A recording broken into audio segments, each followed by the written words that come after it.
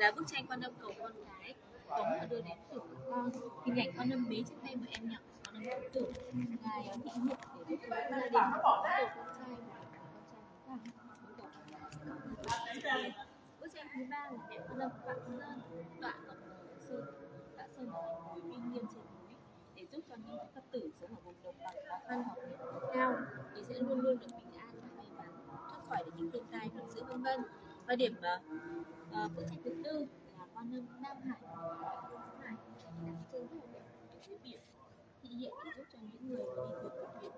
Biển đó cô chú anh chị tham quan xong cái con âm này gần nhà mình ờ, mình trong nhà thì sẽ đi bộ sân thì con nâm nhé.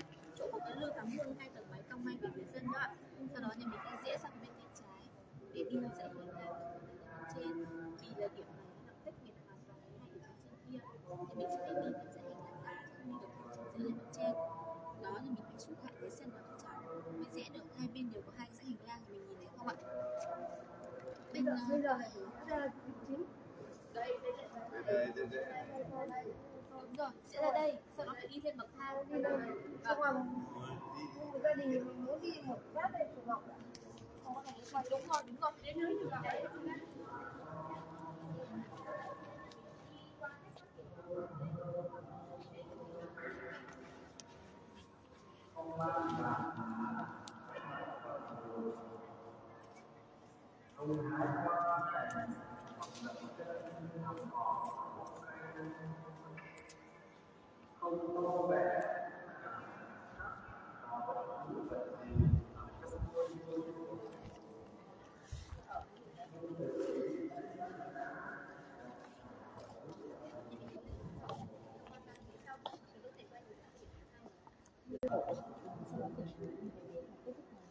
cổ đúng không? Vâng.